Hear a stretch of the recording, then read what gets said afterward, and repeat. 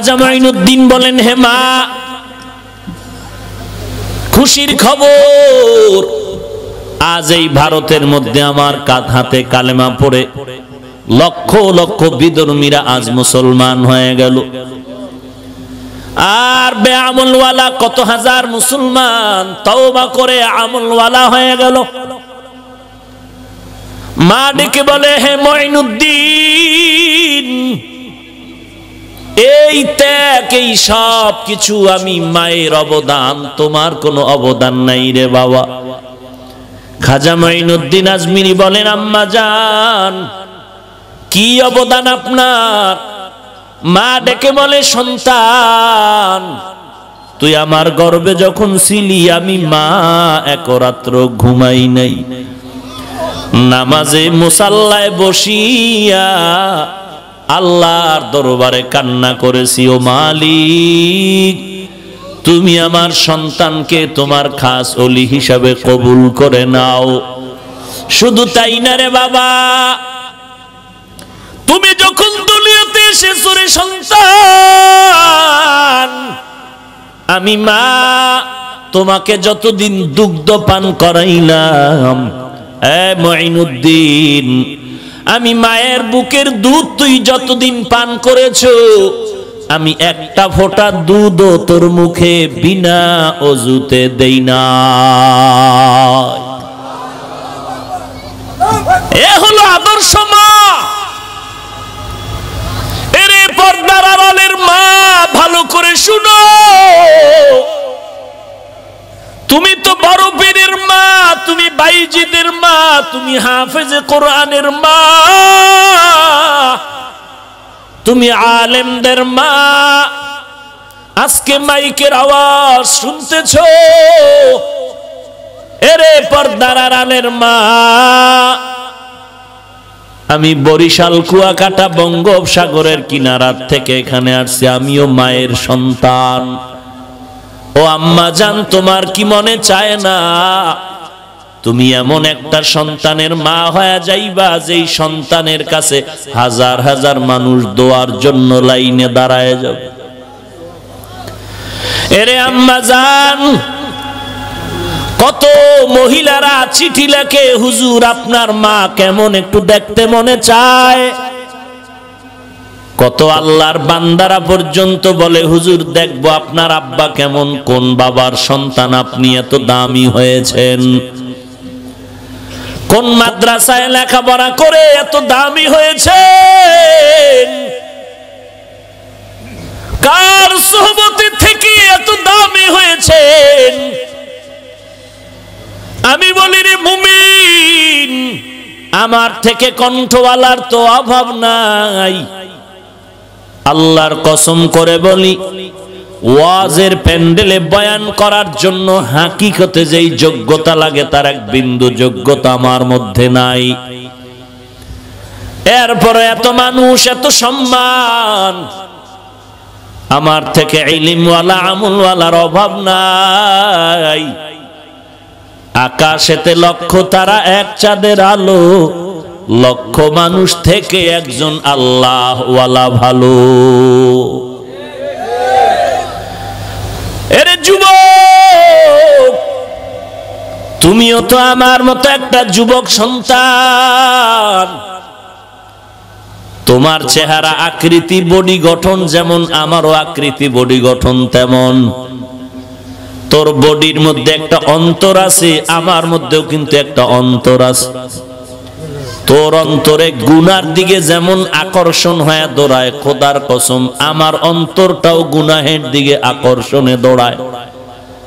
তুই যেমন মনে মনে ভাবতেছ, চুলগুলো ক্রিকেটারের সাইজে কাটলে মজা লাগে, তোর থেকে কম বুঝ আমারও নাই। তুমি যেমন মনে করো, টুপি পরলে মাথাটা গরম হয়, এই বুঝ আমার নাই, এমনটা না, আমিও বুঝি। তুমি মনে মনে ভাবতেছ, মাদ্রাসায় পড়ে চাকরি পাওয়া যাবে না। তুমি বুঝার আগে আমিও তো বুঝেছি। যুবক, প্যান্ট শার্টটাই না পরলে সমাজের স্বাধীনতা আর ভাবমূর্তি নষ্ট হয়ে যাবে। লম্বা জামা পরলে সমাজে মাথা উঁচু করে দাঁড়ানো যাবে না। কোরআন হাদিস পড়িয়া চললে তো মানুষ আমাকে বাঁকা নজরে দেখবে, সম্মান থাকবে না। আল্লাহর কসম করে বলি, এই জমিন গোটা দুনিয়া খুঁজিয়া দেখ। কোরআনওয়ালাদের আল্লাহ যত সম্মান দান করেছেন, কোটিপতিরাও এত সম্মানে নাই।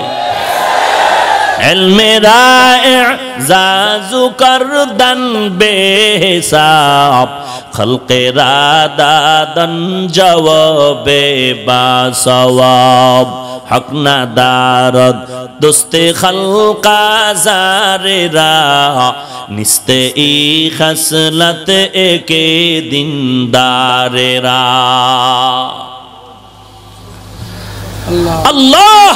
ইসলামের ঝান্ডার উঁচু করার দায়িত্ব দিয়েছেন চার দলকে, নবীগণ, সিদ্দিকগণ, শহীদগণ, সালেহগণ। অন্য যারা থাকবে, এরাই চার দলের ব্যানারে চলবে।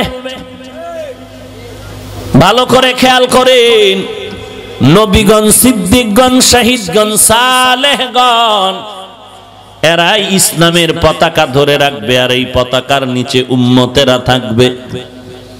বর্তমানে গোটা দুনিয়াতে যেই দলটা আছে তার নাম সলিহীন।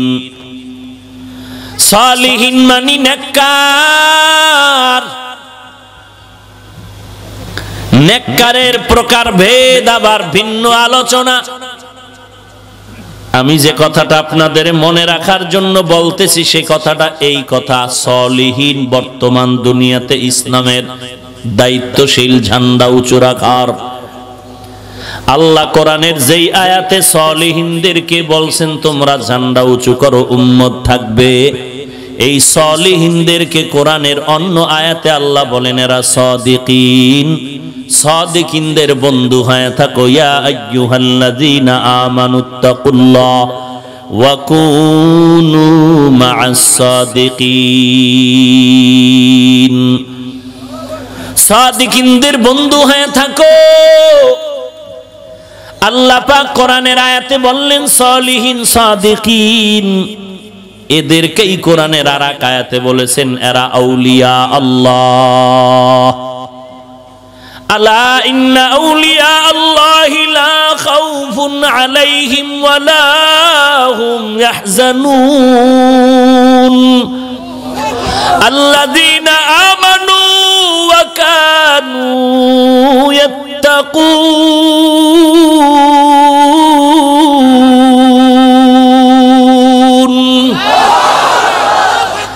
ও আউলিয়া কেরাম তোমাদের কোনো ভয় আল্লাহ, আল্লাহর ওলি, আল্লাহর বন্ধু, আল্লাহর প্রিয় বান্দা। তারা কারা বলে তাদের দুইটা গুণ? এক নম্বরে পরিশুদ্ধ ইমান দুই নম্বরে তাকওয়া। আল্লাহ পাক এদের ব্যাপারে কোরআনের আর আয়াতে বলেন, এদের মূল পুঁজি হলো ইলিম। এলিমের অর্জন করকারী পুঁজিওয়ালার নাম ওলামা আলেম থেকে ওলামা আল্লাহ বলেন ওলামা কারা? ইন্নামা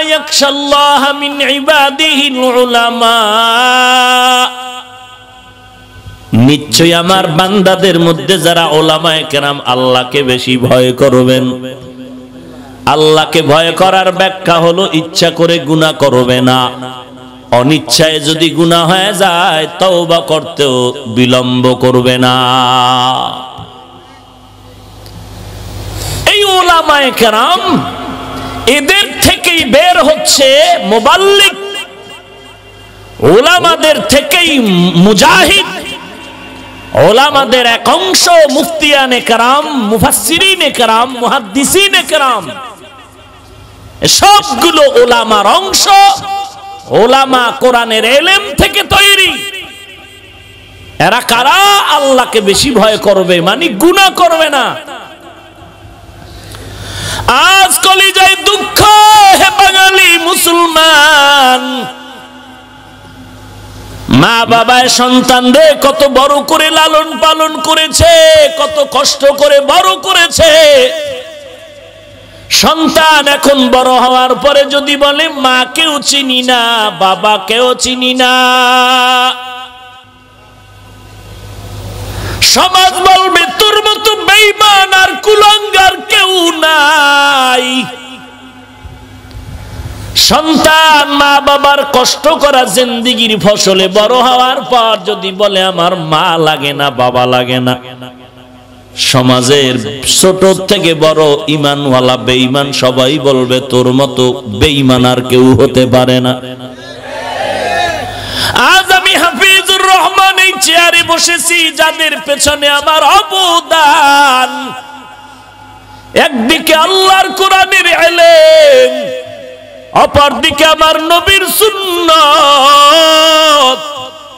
এই রঙে আমাকে রঙিন করেছেন আমার ওলামায়ে কেরাম উস্তাদ। যেই ওলামাদের অবদানে আমার দাদার জানাজা হলো, আমার দাদির জানাজা হয়েছে। যেই উলামাদের অবদানের কারণে আমি আল্লাহ চিনলাম, কোরআন শিখলাম, হাদিস শিখলাম, নামাজ শিখলাম, কালেমা শিখলাম, রোজা শিখলাম। যেই আলেমদের অবদানে আজ আমি বান্দা টুপি পরা শিখলাম, লম্বা জামা পরা শিখলাম, দাড়ি রাখা শিখলাম, পশ্চিম চিনলাম। যেই আলেমের কারণে তোমার আমার মা বাবার বিবাহের বন্ধনটা বৈধ হয়েছে। আজকে যদি কোনো মুসলমান বলে, সে আলেম আমি চিনি না, লাগবে না। তোর মতো বেইমান আর কুলাঙ্গার জমিনে কেউ হতে পারে না।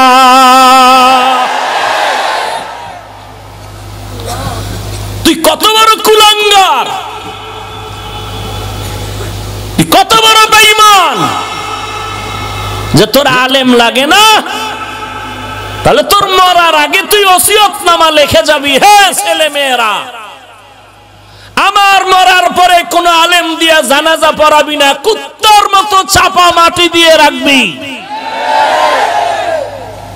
নির্লজ্জ বেহায়া। ইদানিং কালে এই চক্র মাথা চারা দিয়ে সামনে এগিয়ে যাচ্ছে। আলেম লাগে না, আলেম লাগে না। তো কুত্তার মতো তোর মরণ হবে, আলেমের জানাজা কপালে হবে না। আল্লাহ হেদায়াত দান করুন। যে যেদিকেই থাকেন, একটা কথা মনে রাখবেন, আলেম সারা অন্যের সাথে নয়। বুঝেছেন কথা? আর আলেম কাদেরকে বলে, আল্লাহ কোরআনে বলছেন, আল্লাহকে বেশি ভয় করবে। আল্লাহকে বেশি ভয় করার মানি নামাজ পড়বে না। হ্যাঁ? আল্লাহকে বেশি ভয় করার মানি হলো গুণা করবে না। গুণা করবে না।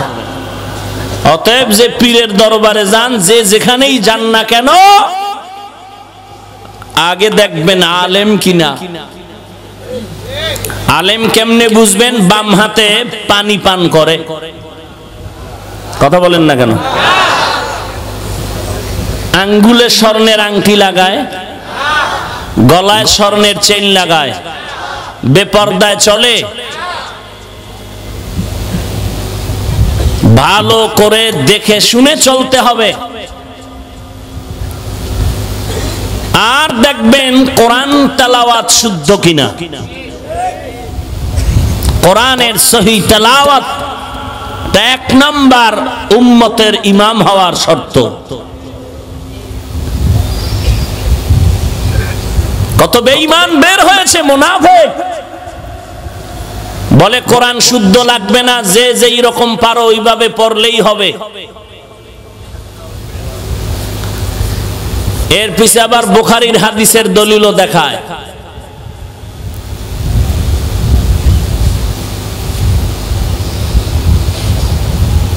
কত ধরনের ইসলাম বিদ্বেষী দুশ্মন আজ আমাদেরকে অক্টোপাসের মতো আঁকড়িয়ে ধরেছে? কথাটা বলতেছিলাম যে আল্লাহ রসুল কোরআন, হাদিস বলেননি, সুন্নত বললেন কেন? বলে হাদিস নয়, সুন্নত বলার কারণ সুন্নত একটি আমল। আর আমল যিনি করেন তিনি আলেম। অতএব তুমি আমল যে শিখবা, সুন্নতের আমল কীভাবে শিখবা, কিতাব পড়ে শিখতে পারবা না? এই চেয়ারের যে সম্মান ডিসির থেকে বেশি, এসপির থেকে বেশি, এ চেয়ারের ডিসির চেয়ারের মেয়াদ আছে, এসপির চেয়ারের মেয়াদ আছে, এমপি মন্ত্রী মহোদয়ের চেয়ারের মেয়াদ আছে, কোরআনওয়ালার চেয়ারের কোনো মেয়াদ নাই। অতএব মনে মনে মন কলা খাবেন না যে প্রধানমন্ত্রী আমাদেরকে স্বীকৃতি দেওয়াতে আমরা ডিসি হওয়ার স্বপ্ন দেখছি। কোনো দরকার নাই হ্যাঁ কপালে যদি থাকে তো দুই চার দিন করলাম। কেউ যদি বসায় দেয় যে ডিসিগিরি করেন। করলাম, কারণ ওলামায় কারাম এরা সৃষ্টির শ্রেষ্ঠ বুদ্ধিজীবী। কেমনে বুঝলেন? পৃথিবীতে সৃষ্টির শ্রেষ্ঠ একটি বুদ্ধির গাইড বুকের নাম কোরআন। এখান থেকে বুদ্ধি নিয়ে মানুষ বিক্রি করে, জীবন চালায়। সেই বুদ্ধির গাইড বুক কোরআন যার সিনায় আছে, সেই হলো বুদ্ধিজীবী।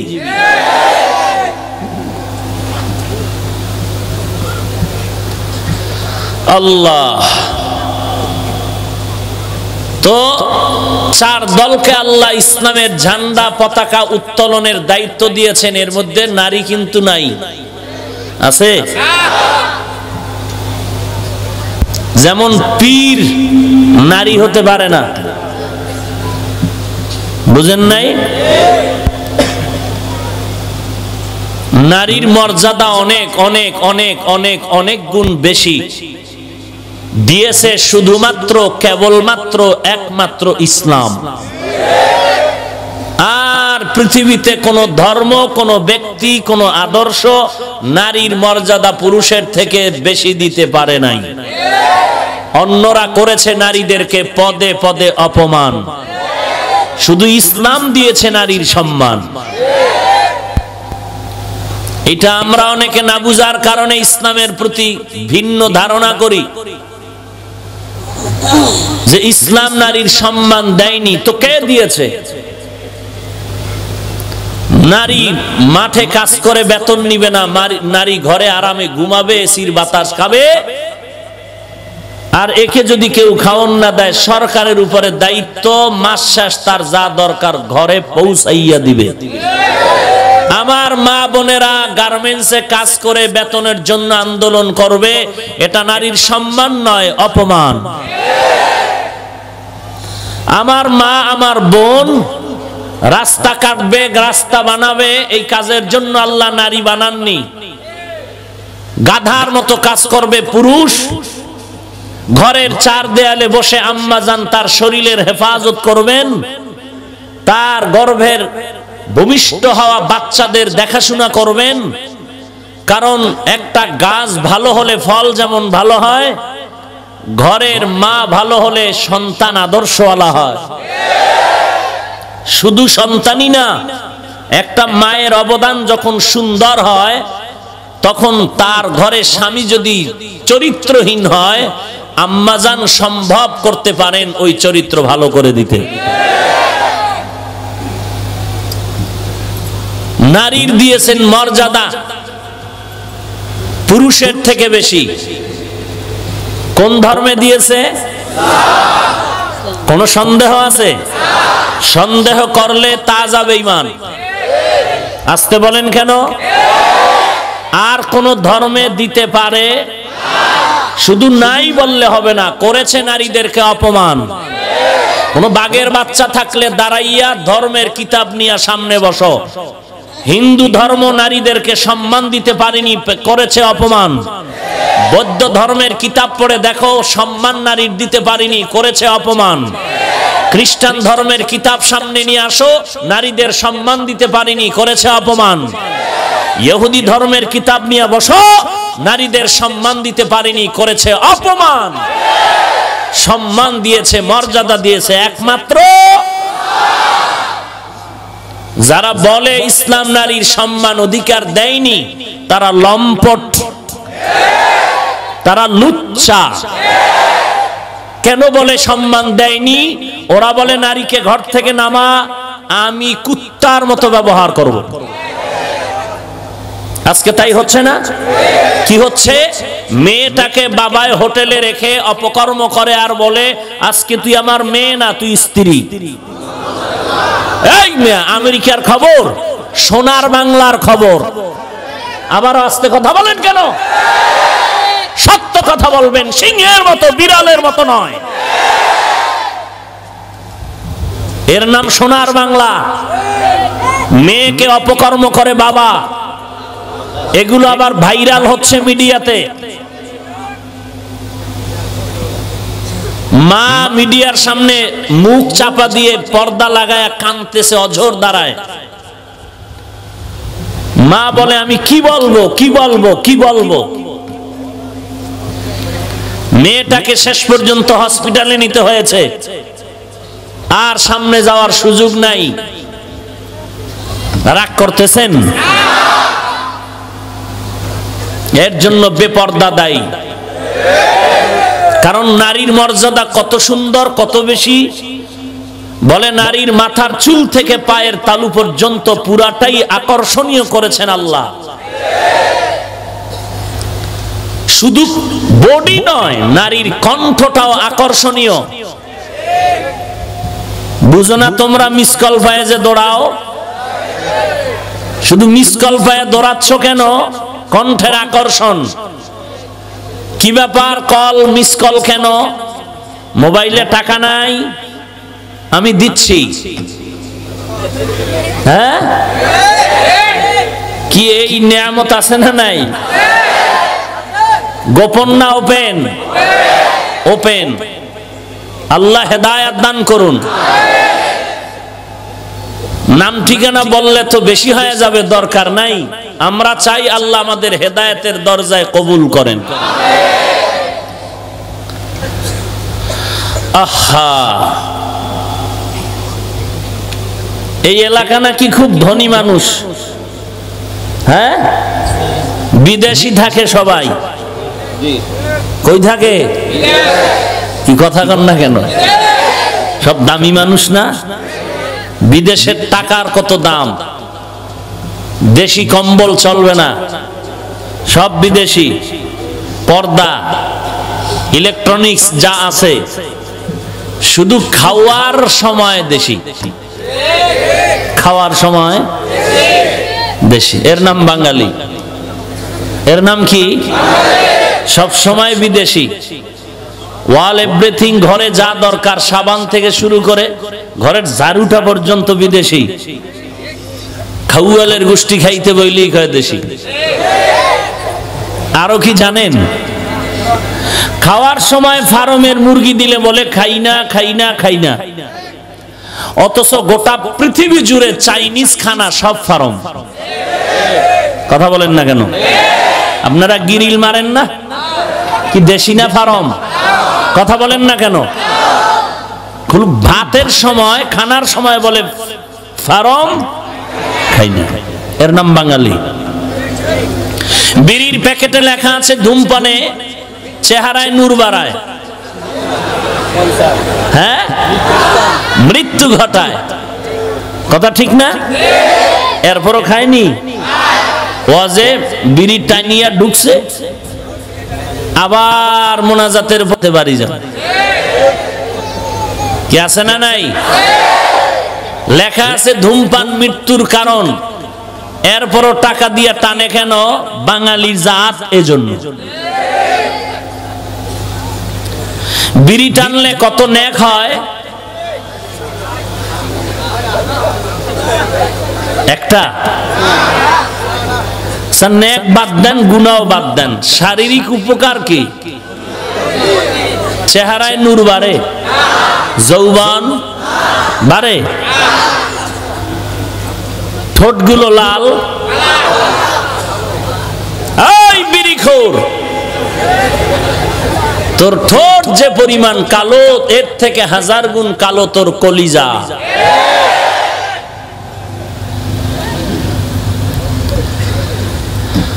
আহা, কথা বললেও বিপদ, না বললেও বিপদ।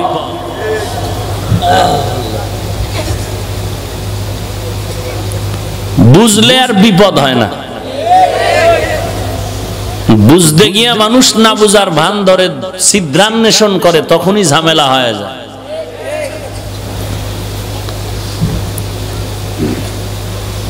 এই যারা আমার ভাইয়েরা বিবাহিত স্ত্রীকে রেখে বিদেশ ঘুরেন। তাদের ব্যাপারে ইসলাম কি বলে? বিবেক কি বলে?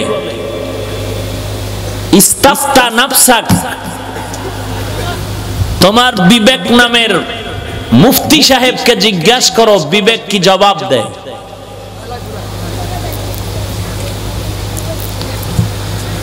বাহিরের দেশে ঘুরে ফিরে যা দেখলাম আমার সোনার দেশের ছেলেরা গাধার মতো যেই কাজ করে আরব দেশে, বিভিন্ন দেশে, Kuwait, Qatar, Oman, Singapore, Australia.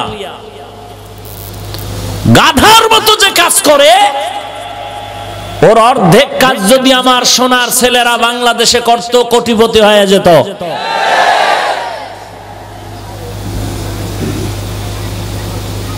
জানি না এর মধ্যে আল্লাহর কি খায়ের আছে, জানি না। কিন্তু বাহ্যিক দৃষ্টিতে যা দেখা যাচ্ছে, আমার মা, আমার বোনেরা নিরাপদ নয়।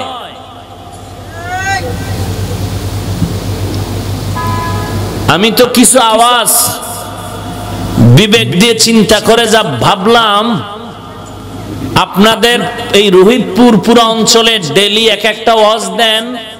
আর বুজুর্গ দিয়া শুধু দোয়া করাতে থাকেন, না হয় আসমানি গজব কখন এসে যায়, আপনারা ধ্বংস হয়ে যান, আমার ভয় লাগতেছে।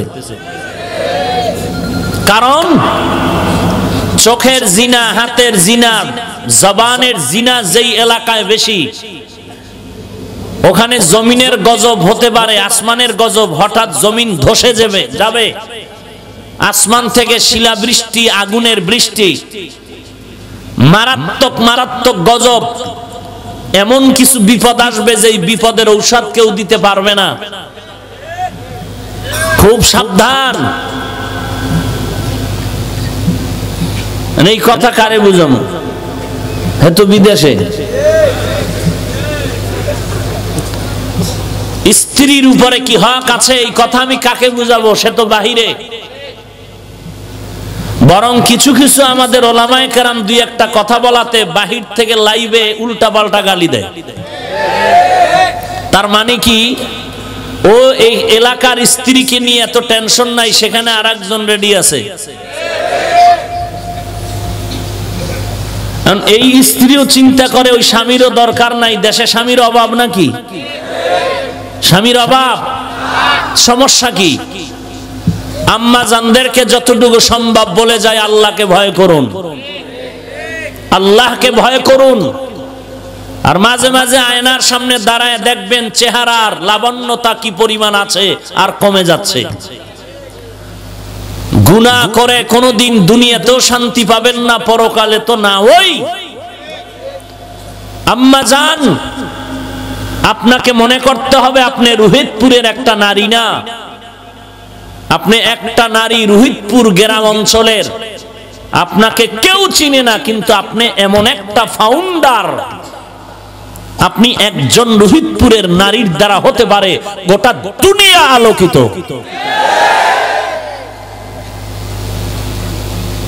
গোটা দুনিয়া আলোকিত হবে শুধু আপনি একজন নারীর আদর্শের কারণে। আপনার গর্ভের একটি সন্তান যদি আদর্শবান হয়, ওই সন্তান গোটা বিশ্বকে আলোকিত করে ফেলবে। আপনি তো নবীদের মায়ের মতো মা। আপনি তো সাহাবা একরামের মায়াদের মতো মা। আপনি তো আয়েশা সিদ্দিকা রাদিয়াল্লাহু তাআলা আনহার মতো আকৃতিতে নারী। আম্মাজান আয়েশা রসুলের স্ত্রী।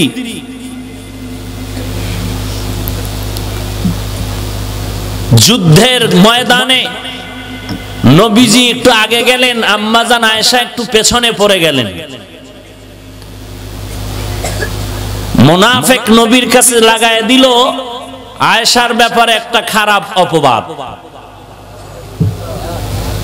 নাউজুবিল্লাহি যালিক নবীজির মনের মধ্যে একটু কেমন কেমন শুরু হয়ে গেল। নবীজি সাহাবায়ে কেরামদেরকে নিয়ে একটু মশওয়ারায় বসলেন, আমি কি করতে পারি? অনেক কথার ফাঁকে দিয়ে হজরত ওমরে ফারুক দাঁড়ায় গেলেন। বললেন, নবী, আপনি তো বিবাহ অনেকটাই করেছেন। অন্যান্য স্ত্রীদেরকে আপনি নেওয়ার পেছনে ঘটক যিনি, মাঝখানে মাধ্যম, দুনিয়ার কেউ না কেউ হয়েছে। কিন্তু আমাকে বলুন আম্মাজান আয়েশা রাদিয়াল্লাহু তাআলা আনহার বিবাহের ক্ষেত্রে মাঝখানে মধ্যস্থতা কে করেছেন? রহমাতুল্লিল আলামিন বলেছেন, আমার আল্লাহ করেছেন। অমর বলতেছেন, আল্লাহ যদি এমনটা করেন, আপনার কি সন্দেহ থাকে যে আল্লাহ পাক এমন কারও ব্যাপারে করবেন যার উপরে কালিমা লাগবে? নবীজি ফ্রেশ হয়ে গেলেন। নিশ্চিত হয়ে গেলেন।